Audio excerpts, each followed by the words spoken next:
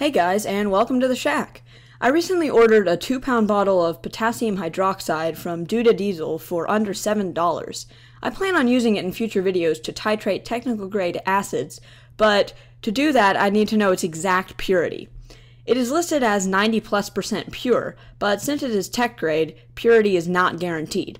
In this video, I will determine its purity via titration, and then go one step further by purifying it using recrystallization.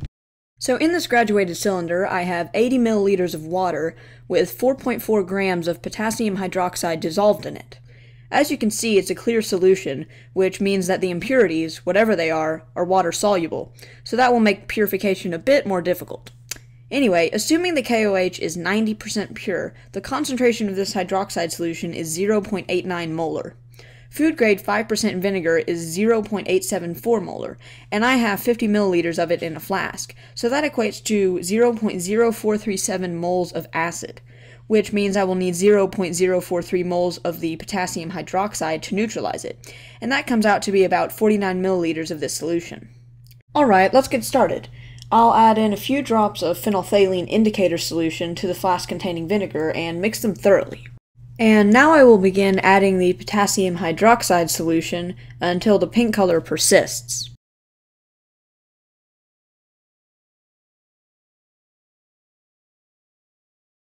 Now the pink color is starting to get a little more persistent, so I'll add the rest of the potassium hydroxide titrate solution via pipette.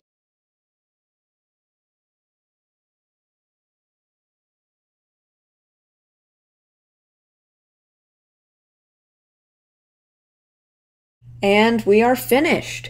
Looks like I've used 54 milliliters of the titrant. I added a bit too much. I should have ended up with a light pink solution. So I'm going to perform three more titrations and average the results. By the way, this solution looks cloudy, but that's because of the bad lighting. Outside, you can clearly see that it is transparent. Okay, I just performed three more titrations, and this is the color I got on my first and second ones. However, the third time I used way too much titrant and got a dark pink. After averaging the results, I concluded that this potassium hydroxide is 94.78% pure. However, you will need to titrate this yourself if you buy it because it may not have the same purity. Now we need to test our results. I have measured out 3.13 grams of the potassium hydroxide and dissolved it in some water. If it is indeed 94.78% pure, then there should be 2.967 grams of actual potassium hydroxide present, or 0.0529 moles. Thus, to neutralize it, we will need 0.0529 moles, or 60.5 milliliters, of vinegar. If, after adding the vinegar, we have a clear or light pink solution, our results are reasonably accurate. However, if the end color is a dark pink, then I suck at math.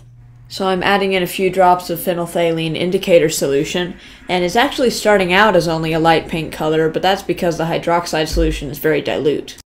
And now I will begin adding the 60.5 milliliters of vinegar. Okay, now it is a very light pink, and you might not even be able to see it on camera. Here goes the last milliliter of vinegar, and I don't suck at math.